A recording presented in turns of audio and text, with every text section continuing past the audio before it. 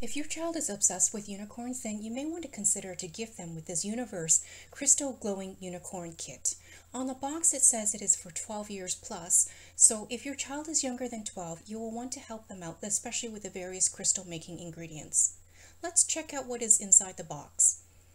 Inside there is a color page description listing out what you get, how to prepare your work area, and steps on how to get started. Towards the bottom of the sheet, there are some colored pictures as you progress through the steps. Also included is this huge colorful magic in the making poster that talks about the different types of crystals and a description of crystallography.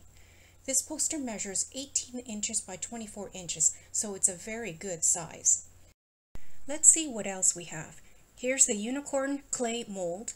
It seems to be a pretty good size, approximately the size of an adult hand. And this is a bag of aluminum powder, safely sealed. And here's a plastic paint palette with a total of six wells. Then there's three small bottles of dye, one in yellow, one in pink, and one in pastel blue. And here's a paint pod. And then we have one small bag of white glitter. We have a paintbrush and a dual-ended wood stick.